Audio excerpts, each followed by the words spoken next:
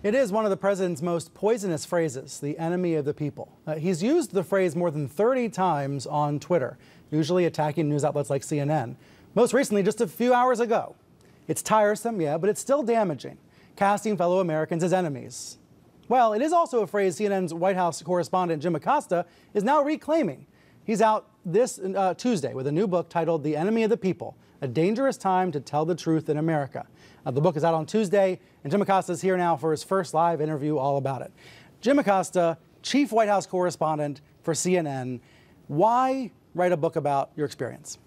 Well, I, I, wanted to send a message, uh, you know, to folks who really care about what we do, and the message is basically this: I, I, did not want my children to grow up in a country where the press is called the enemy of the people. Uh, Brian, you and I have grown up in a country for the last uh, several decades here, uh, where you know Republicans and Democrats uh, wanted to be in power in Washington but they didn't demonize us to this extent. Mm. And I think it's gotten, it's, I think it started off as an act uh, based mm. on my reporting uh, that the president threw out fake news, and the enemy of the people at the beginning, just to sort of taunt and troll us.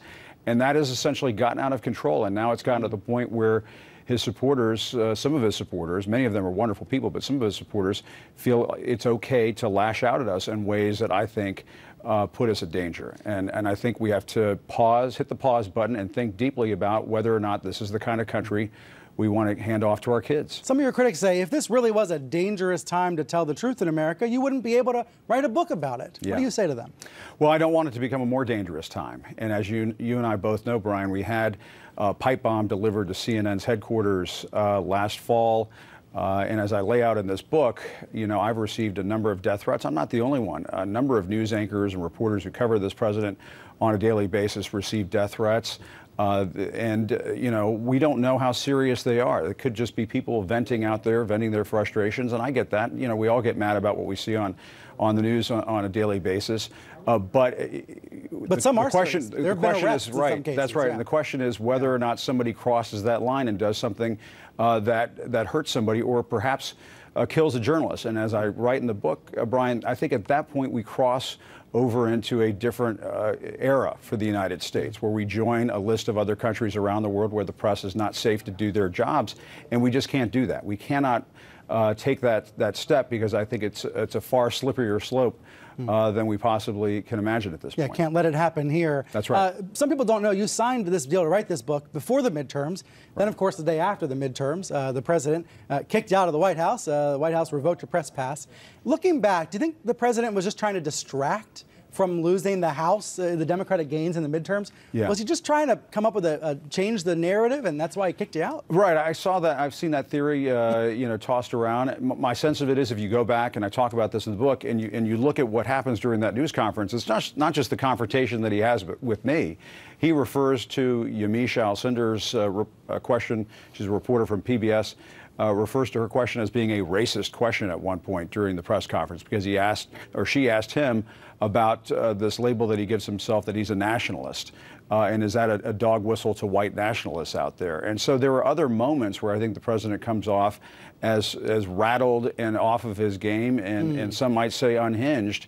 And so I, I, don't think it was one of those moments where he was just trying to throw uh, red meat red into meat. the water and the bright shiny object to change the narrative. I say, Well, you do I think he was clearly frustrated. You do conclude the book with with the lawsuit and CNN's victory in court. Yeah. But let's go back to the beginning. Uh, sure. The first full day of the Trump presidency, Sean Spicer is sent out by the president to go and lie about the crowd size. Do you ever think about what would have happened if, if crowd size hadn't been the, the story of day one of the Trump presidency?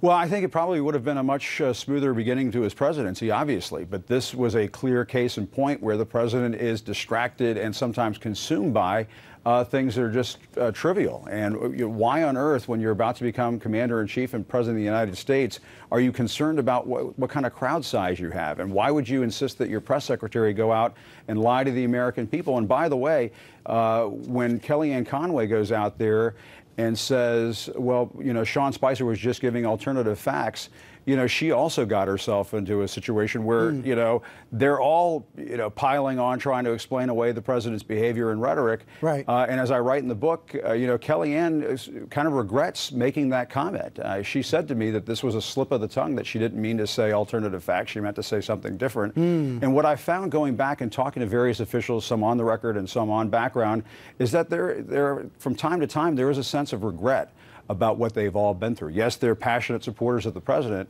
but in Kellyanne's case, I think she now wishes that she could have had that one over again. She wishes she had not said that because she insists in this book uh, that this was not intended to be an Orwellian phrase on her part. Right, the way it was interpreted. Right. Uh, you do quote uh, sources on the record and also on, on background anonymously. You quote an unnamed senior White House official saying, quote, the president's insane. Was that person speaking literally or figuratively? I, I think he was venting his frustrations, uh, this particular official. Uh, we sat down one afternoon to talk about how things were going uh, with this particular uh, source's area of expertise. I don't want to get too deeply into, uh, into that, but uh, plopped down in the, in the seat in front of me and said, The president's insane. And I later went back and talked to this official and said, Well, why did you say that? And yeah. this official said, you know, really, I was just frustrated with the president's lack of understanding about the Constitution, the, the constraints placed on the presidency, you know, guardrails that were put in place by our founding fathers. Uh, the president wanted to know how long you can keep an acting secretary on. He wanted to know, uh, you, you, know, uh, what else he could do with his cabinet. And it, it's this kind of behavior behind the scenes that really frustrates his top officials, I think, a lot more than people understand. And I, I so I think this this official was trying to explain all of that. Uh, one, uh, you mentioned Kellyanne Conway.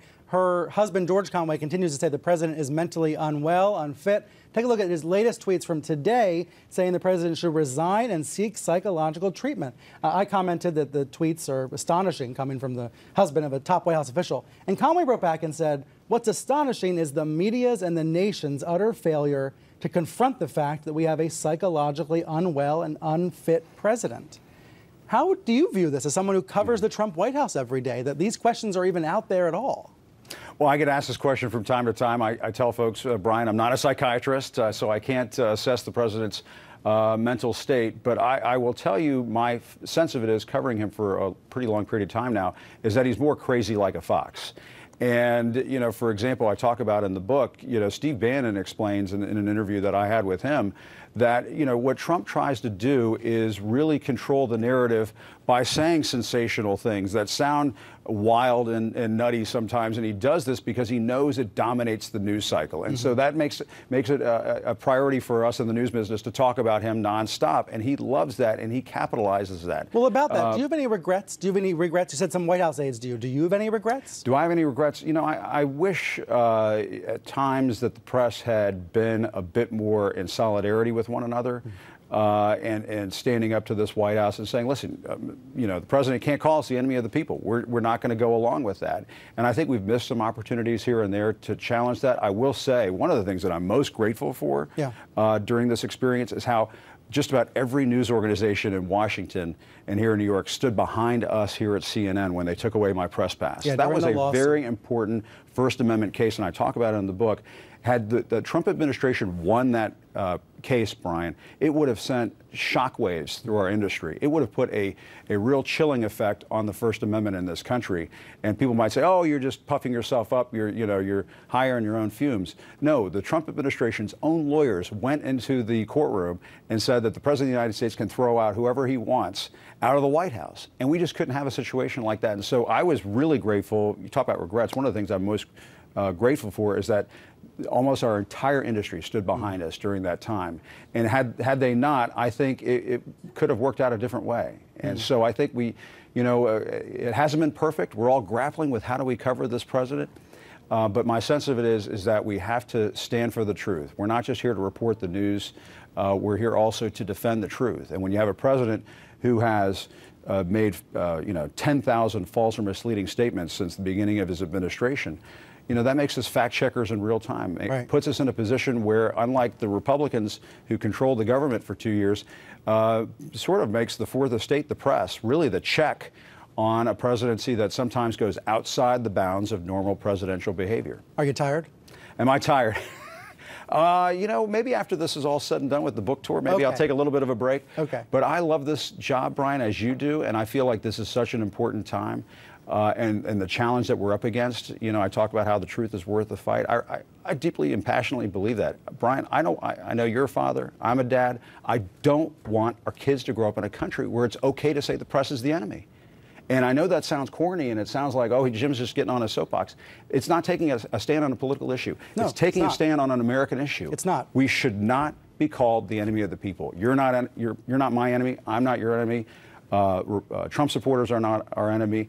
And so I hope uh, if there's an overarching message that folks take away from this book is that they have a deeper appreciation for what we do and understand that, you know, listen, we're, we're out here just doing our jobs Trying our best. and we're not the enemy.